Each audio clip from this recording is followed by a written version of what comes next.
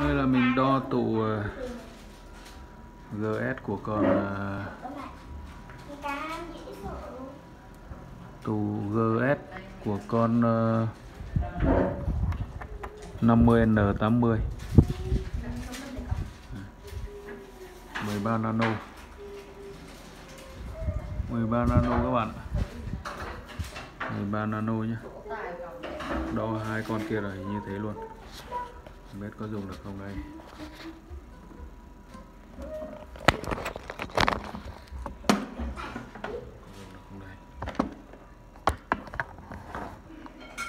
Xem con còn lại xem.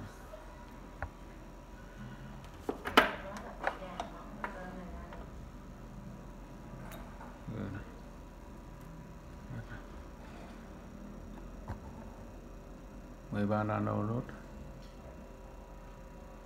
và nano các bạn ạ. Rồi.